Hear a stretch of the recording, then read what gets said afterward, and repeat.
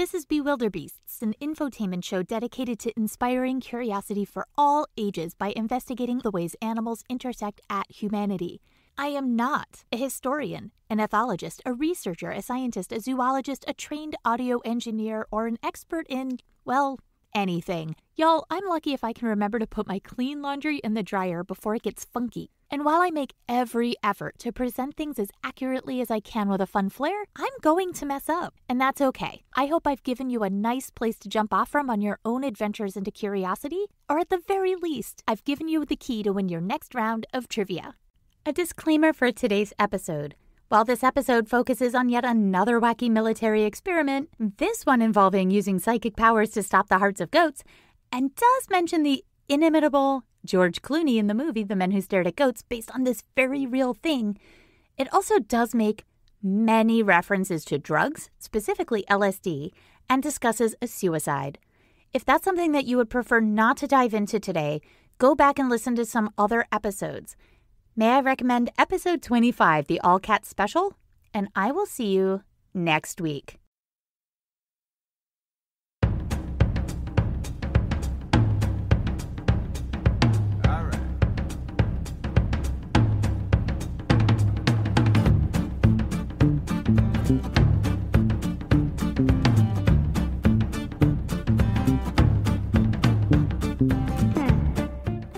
Hello and welcome to Bewilderbeasts. I'm your host, Melissa McCue McGrath, still recording from the tiniest podcast studio closet outside of Boston, Massachusetts. For the last time. Today on Bewilderbeasts, oh, the military. Let's go.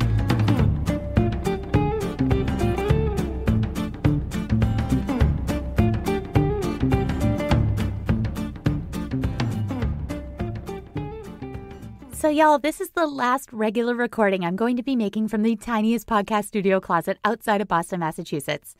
My family and I are finally getting a chance to move, and we're going to Maine in early September. And while I have several episodes up and ready to go, we shouldn't miss a beat. I just wanted to commemorate this moment. I've lived here in this city of Somerville for 18 years, and that's a long, long time. I met my husband here, I had a kid here, I broke some bones here and I enjoyed a great community.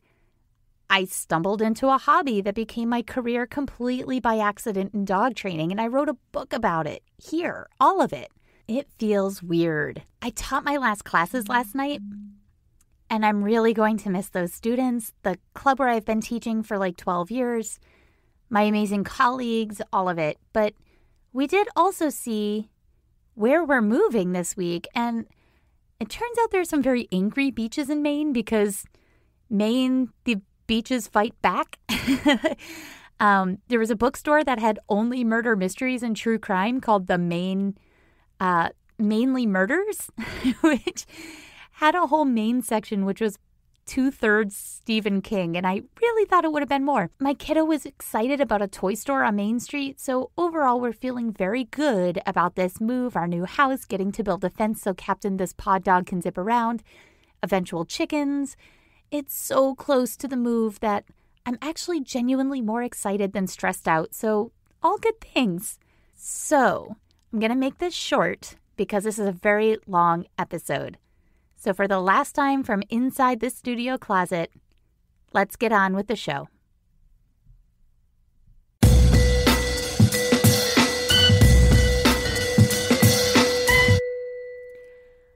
On the surface, this is the funniest, most bizarre story.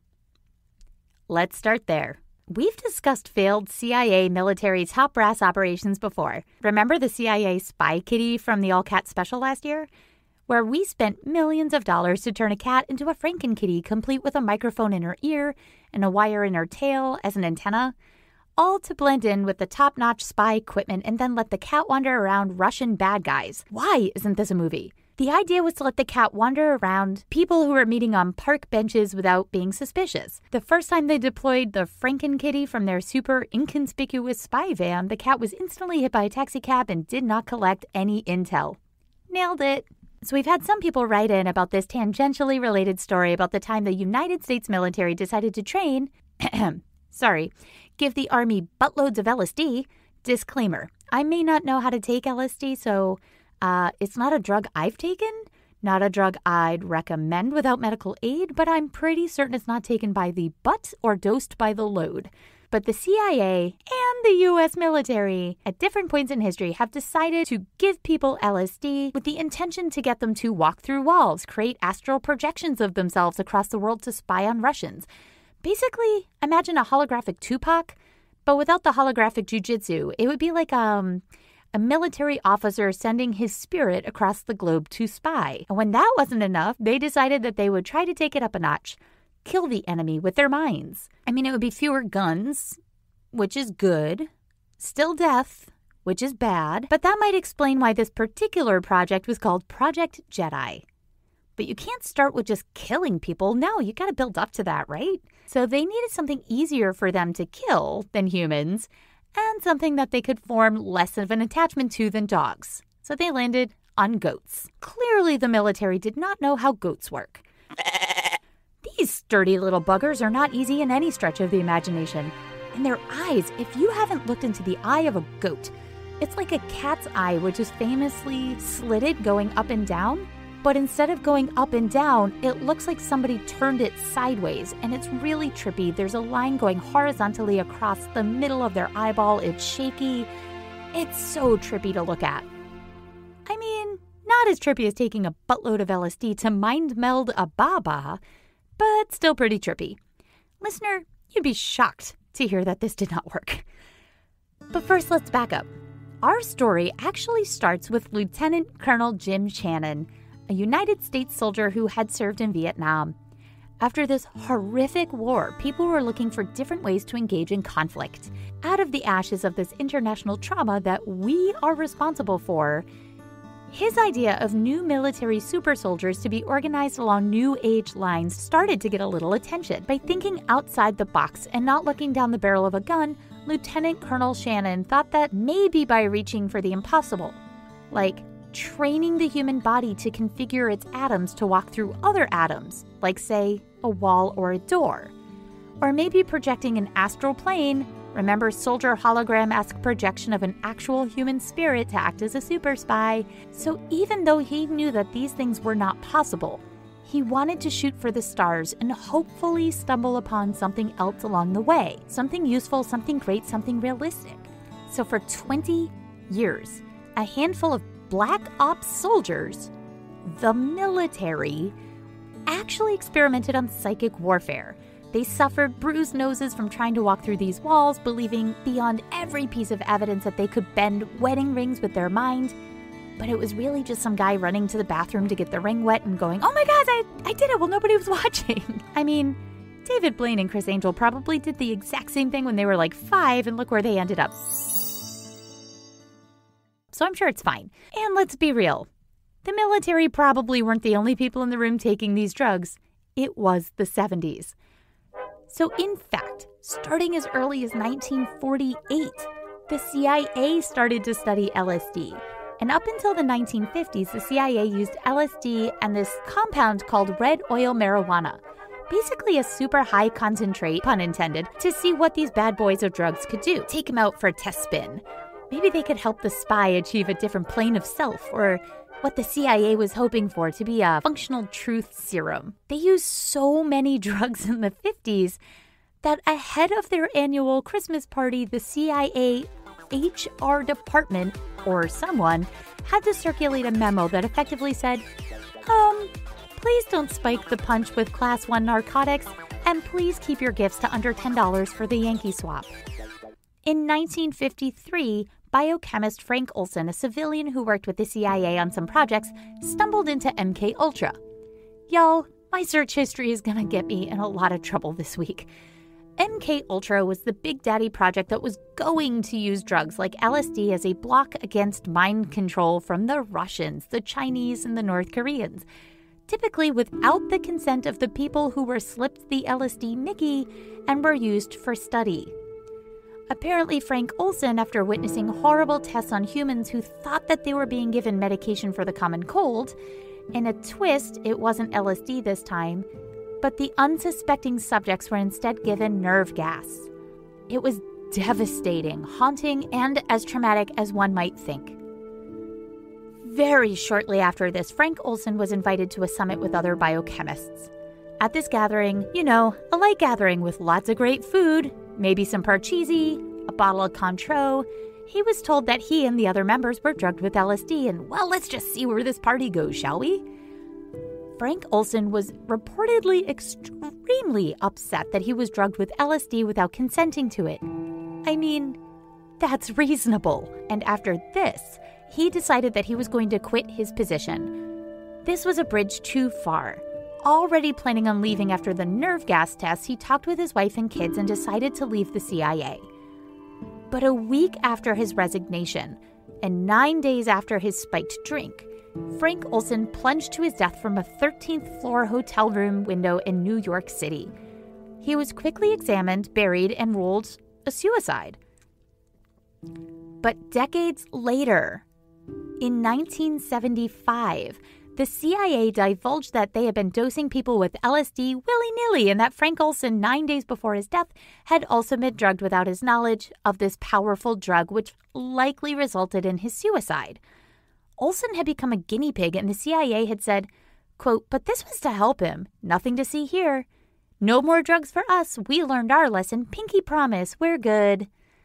You know, with their fingers crossed behind their backs. Listener, they did not learn their lesson, and it's widely theorized that Frank Olson was actually murdered due to what he had seen and knew, and his pushback was just a bridge too far. And after all these years, this is still an ongoing investigation. But we'll circle back to Frank Olson in a bit.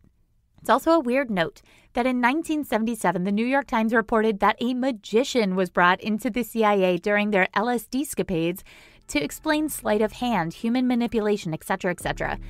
This magician was paid 3,000 buckaroos to contract with the CIA on matters like how solid, liquid, and gaseous substances, like a buttload of acid maybe, could be secretly delivered to individuals without their knowledge. Hmm. So when Frank Olson died, magician Mulholland's address and his initials were found in Robert V. Lashbrook's wallet. Who's Dr. Lashbrook? Oh, he was the CIA employee who was escorting Dr. Frank Olson on the night that he died. Hmm. Hold all that in your head. I know it's a lot.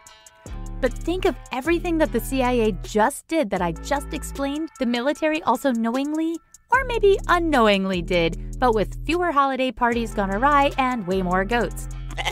Four years later, the United States Army not the CIA, because remember, they're done with LSD. Pinkie Pie promise. Why are we still talking about this? We're done. Seriously, my fingers are crossed behind my back, but I totes mean it. The Army ended up taking some pages out of the 1950s LSD trials. And they thought, sure, what could go wrong? In 1979, the same year that Star Wars emerged on the scene, and two years after it came out that the CIA was tripping donkey ears through the 50s, the Stargate Project was established at Fort Meade in Maryland, not to be confused with the early 1990s science fiction film of the same name, or the animated series in the late 1990s by the same name. This Stargate project intended to discover if humans could use their minds and paranormal phenomena to improve military operations you know, real life Marvel movie X Men type stuff, but the US Army and without the radioactive spider bites. Ow, ow, ow! Guys in Black Ops tried to walk through walls. Use these things instead of guns in war, hopefully on the way to the moon to find something great.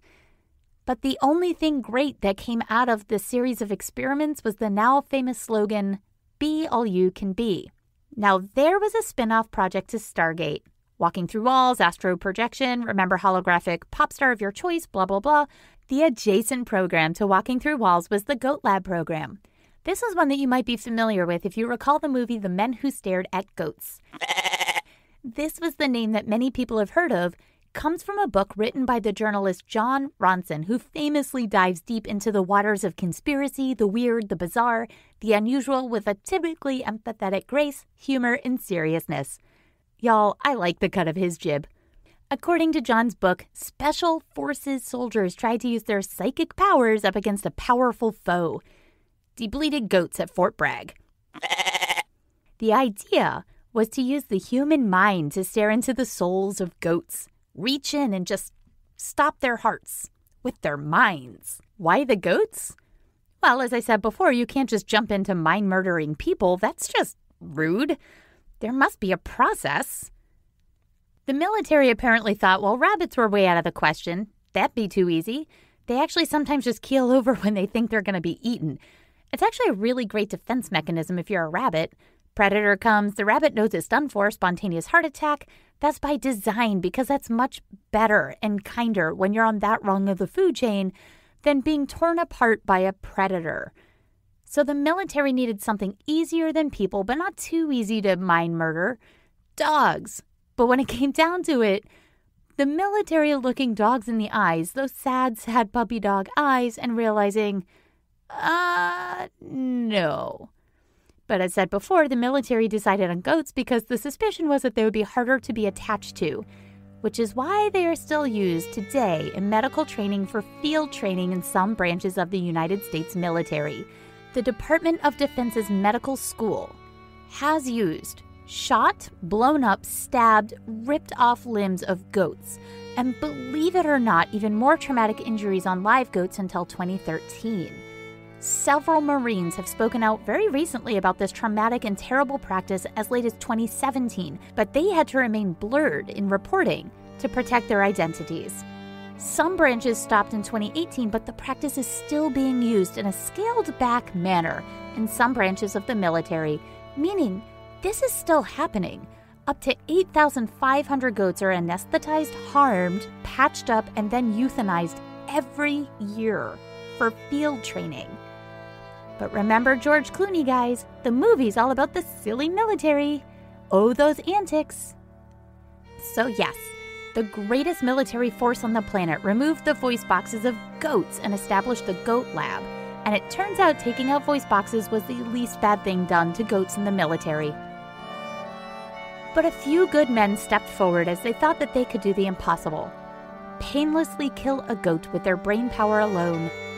One such man a martial arts instructor, spiritual healer, and the man who convinced the military he could train men to do the impossible, Guy Savelli, he had claimed that he had killed a goat with his mind. Though no one saw it. There's no video. There's no proof that this ever happened. And there was another man named Glenn Wheaton. Here's what journalist Jon Ronson, author of The Men Who Stared at Goats, said to NPR superhost Guy Raz about Glenn Wheaton. Quote, Glenn Wheaton, who started the whole story for me, I mean, I knew he was part of this unit, this secret unit called Project Jedi. I didn't really know anything about it, and he explained that it was a series of levels. He said level one was teaching the soldier how to eat nuts and grains for a month. And I said, okay, what's level two? He said level two was invisibility. Well, is there like a level 1.5 to get from eating nuts to being invisible? Like maybe escape tactics in case it doesn't work, scrubbing toilets with a toothbrush, something. But wait, there's more. The professional who went in to assess military projects and shut down projects like Project Jedi, the guy who essentially killed this project after 20 years, was a magician named Ray Hyman. That's right, y'all. This is a double magician episode. Lucky you. Ray Hyman calls himself a skeptic, but he was also a magician. A magician took down the astral plane projection secret forces who tried to stop goats' hearts with psychic powers for the United States Army. Whew, there's a lot to unpack here. On its face, it's really funny. And of course, a street hustling magician took out the special psych ops forces. But we can't unpack any of this until we also tie in Barney the dinosaur. Because, of course, Barney the dinosaur. How does this tie in? In short, the book The Men Who Stared at Goats jumps to present day, where the events of the psychic ops military men are connected to Abu Ghraib. Oh, the early 2000s, where the United States military posed with the Iraqi prisoners in very compromised positions, tortured, and committed hundreds of human rights violations.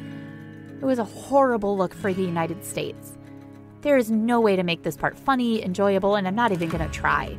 It was a terrible time for prisoners of American soldiers and a stain on the United States military. The media discussed these atrocities, but they also sunk their teeth into the more bizarre parts. The pieces of the story that are admittedly much easier to talk about. The part where the theme song to one of the most popular kids shows of the late 1990s was used as torture for prisoners of Abu Ghraib. It's so easy to laugh at. I did, because when you're laughing at I Love You, You Love Me, the Barney theme song, it's easier to gloss over the horrible, terrible, no good, very bad things that our military did to other people. It was the joke of the year. People couldn't stop laughing about the fact that the song I Love You, You Love Me was used as torture. And I have heard this song, it absolutely could be used as torture.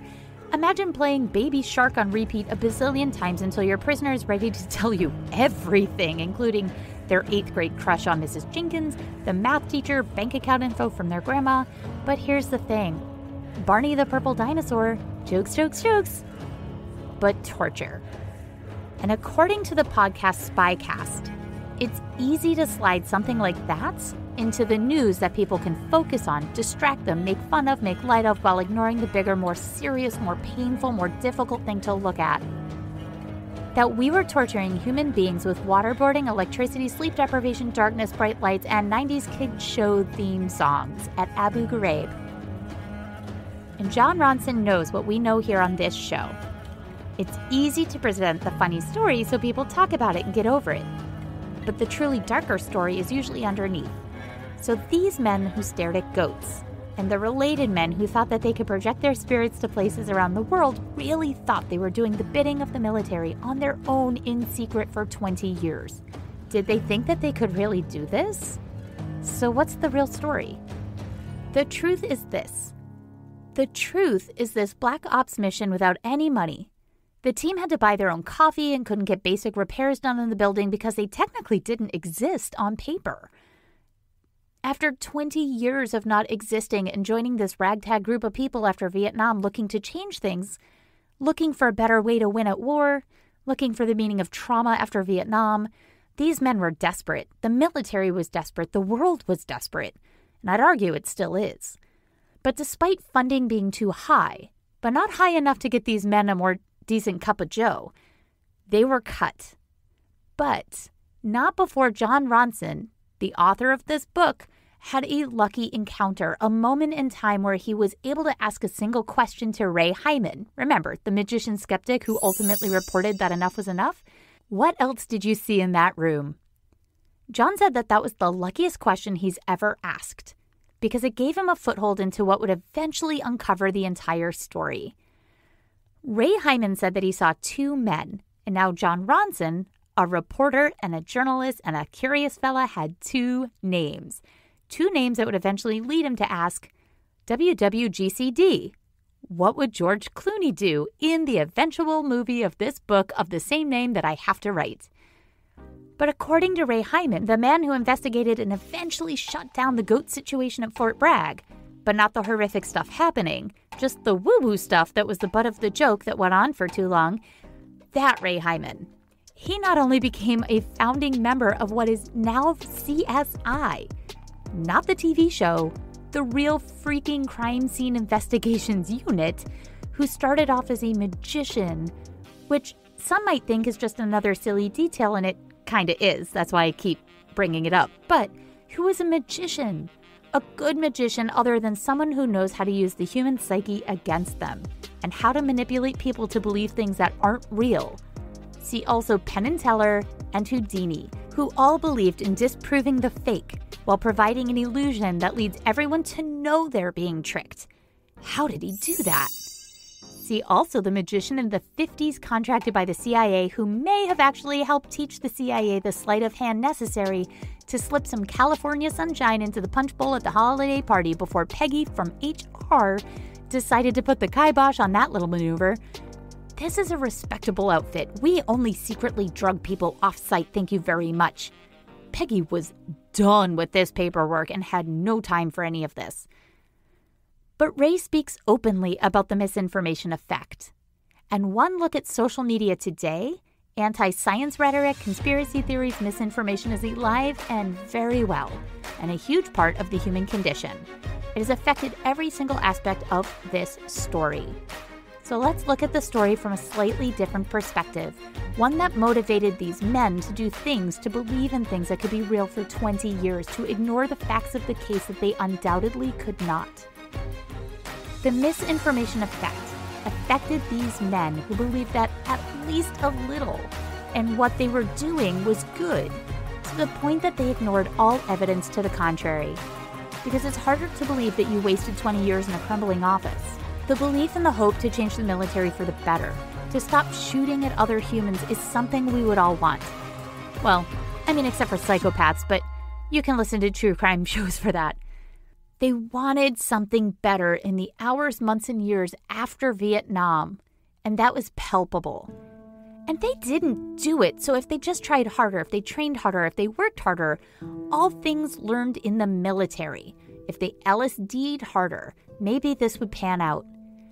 And they had to believe that this could work, that shooting for the moon wasn't a mission to hit something on the way to an impossible target. The moon was the target. Turning back and saying it failed was never an option for these men. They believed in it too much, and they wanted this to fix things so much, and they were told they could walk through walls if they just tried harder. Really walking through walls became the target for some of these men. Maybe inventing x ray glasses. Really killing goats with their minds became the target because studying how men could believe they could kill goats with their mind and using that manipulation couldn't be part of this at all, right? You can't use that kind of manipulation on the field. Or can you? If you can't kill the goat, you know you were played, and no one wants to be played. You have to be right. You can't be wrong. You've put in too much. I wonder how far the military thought they could push. And if you repeat something enough, the misinformation effect, it can become true, gospel, real, at least to the believer. Well, what does Ray Hyman say that this misinformation can do? It can spread so easily. All it takes is for someone to repeat, repeat, repeat. Human nature depends on it. I have fallen for this recently. As a dog trainer of 17 years, I heard once, and cannot for the life of me source it, that dogs licking things releases serotonin, the happy chemical, so it's good for them to lick things like peanut butter stuffed Kongs, and it can help them with anxiety. I've heard doctors in related fields of animal behavior say this as gospel. I've seen it so many times it must be true. And yet, noted skeptic and fantastic dog nerd Dr. Alexandra Horowitz author, and admittedly my dog Psy girl crush because I want to be her when I grow up. Hi, I'm 40. Asked a very simple question on Twitter in July of 2021. Quote, We all say it, but can anyone point to the data, the science, the paper, the literature on this? That dogs licking releases serotonin? Crickets, yo. It's not there. It's something we've heard to the point that it's just true, but there's no evidence. I've been telling clients this for 17 years. Whoopsie. And while it undoubtedly helps, we don't have the actual data to back it up, but this effect really comes into its own with bigger untruths. Birthers. People who believed that President Barack Obama was not a United States citizen because before his campaign, Donald Trump, obviously now playing the long game, planted the seed. He wasn't born here. And people repeated it. Then the media repeated it so much that people watching started to think that there was a nugget of truth. It took such a hold over 10 years that when Trump said, it's not true, and President Obama himself showed his birth certificate for evidence, people believed it was fake cult groups like QAnon uses social media to push conspiracies that are so loosely threaded, but if you just repeat the connections enough, it feels like there's some validity to it. So many connections that millions of people believed, truly believed, that there were horrible things happening to kids in the basement of a pizza shop.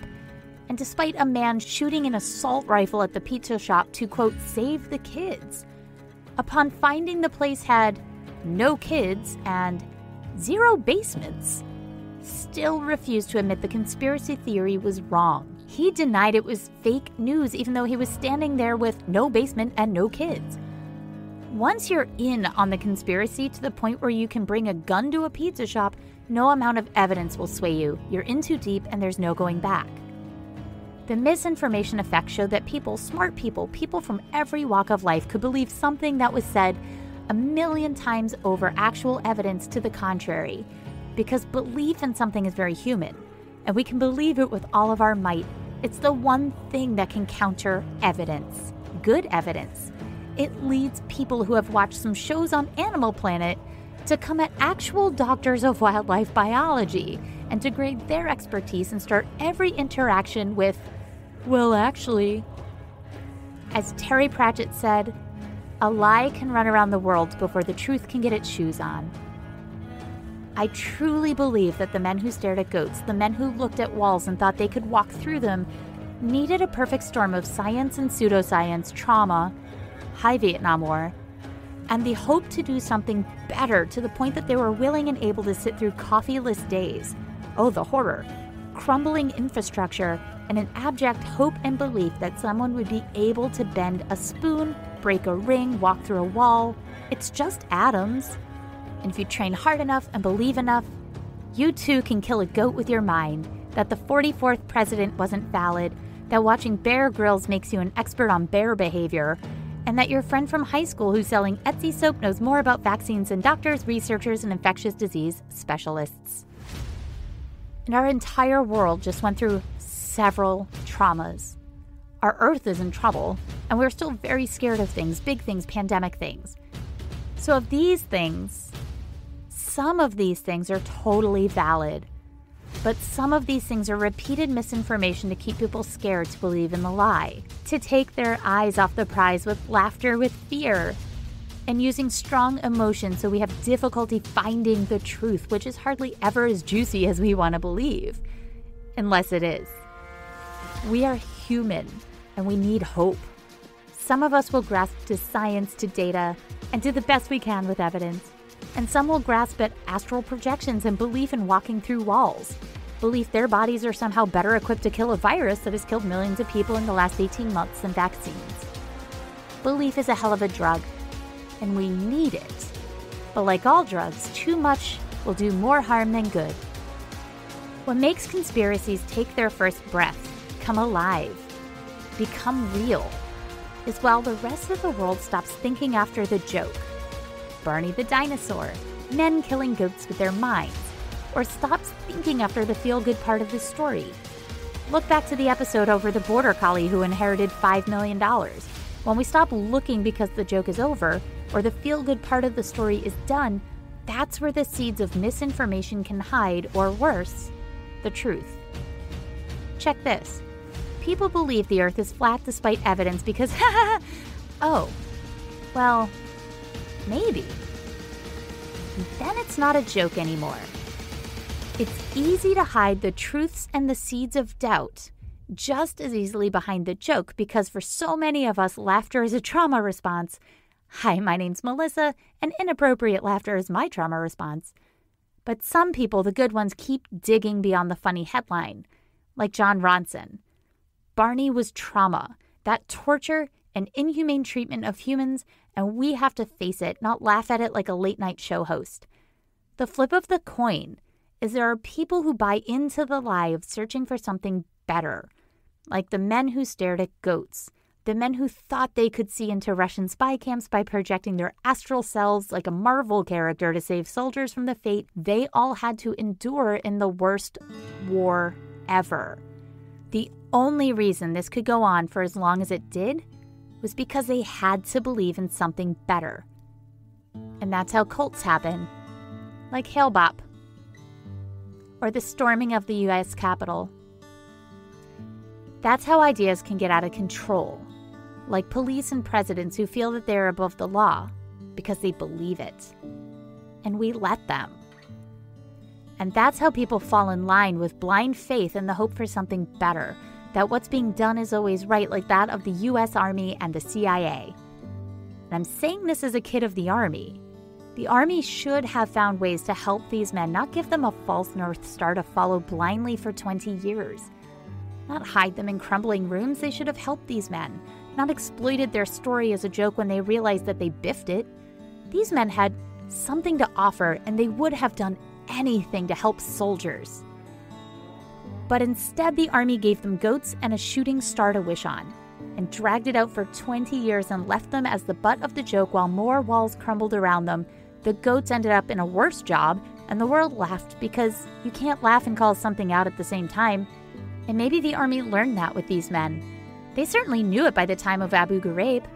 These men could have done awesome things with that hope, and they could have absolutely done more for the military using their wishful thinking and skills. They might have even come up with a peaceful way to help in wartime, but the army hung them out and learned something at their expense that you can hide horrible things in the shadows of jokes. Now, magicians aren't the only comeback in this story. LSD is coming back too, with buddies ecstasy and ketamine for post traumatic stress disorder. Something Frank Olson for sure would have been dealing with in the 1950s had he not suffered his tragic death. So instead of being used as a weapon or a means to help super psychic spies, mind altering drugs are now being used to heal, which could be a good thing. Another circle back?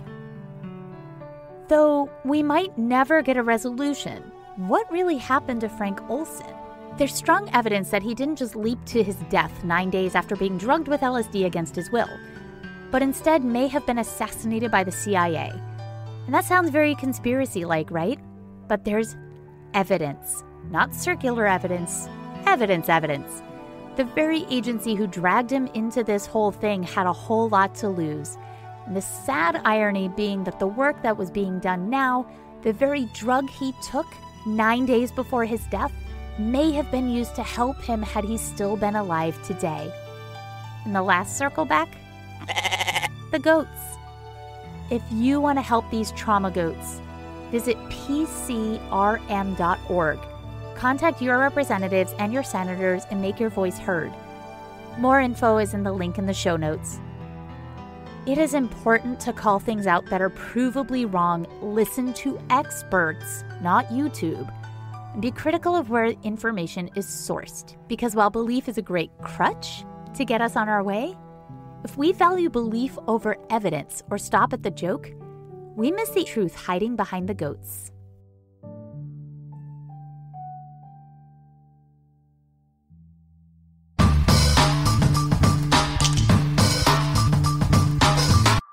Thank you for joining me today on Bewilderbeasts. And this story was a beast, so there will be tons of links in the show notes. So I hope you like this one. It started with goats and it just kept getting pulled in weird directions. Next week's episode will be much, much lighter, whatever it ends up being. I'm going to record that one in Maine, probably about a month from now. So I literally have no idea what it's going to be. It's going to be a surprise for all of us. It's cool. I like surprises. So if you like this show and you want some extra episodes just for you, check out the Patreon. It's quick, and for as little as a dollar a month, you get all the bonus content. There's some episodes in there already, including a real life Pikachu and a moth that evolution thought, well, hmm, these peacocks got beautiful wings. I'm gonna make this guy look like literal poop. No evolution. So check out Bewilderbeast Pod on Patreon. Check out the tiers over there. And uh, this episode has gone on forever and ever. So without further ado, I'm Melissa McCue McGrath with Mutt Stuff Media. Now go get curious. I got today's information from a very long list of sources, so here we go. Wikipedia on the men who stared at goats, jonronson.com, Every Little Thing, a great little podcast, Spycast, Bullseye with Jesse Thorn, his interview with Jon Ronson, military.com on the Goat Lab, abcnews.go.com, LA Times, Wikipedia on Jim Channon, the New Earth Army, WestHawaiiToday.com on Jim Channon's obituary, NPR.org, Wikipedia on Frank Olson, Wired.com on MK Ultra, Wired.com also on the Army's acid tests, the New York Times on how they hired a magician, NBC San Diego on the Marines speaking out about using live animals in trauma training, and PCRM.org, where you can go to see if you can help some of these goats. Intro music is by Dan Leibowitz, and interstitial music is by MK2. Don't forget to like, subscribe, and share with your curious friends. Send me a note at BewilderbeastPod if you're so inclined and tell me how you like the show or tell me the things that you'd like to hear. All episodes are available at bewilderbeastpod.com or wherever you listen to podcasts. That's it for now. So, for the last time from the tiniest studio closet outside of Boston, Massachusetts, I'll see you next week.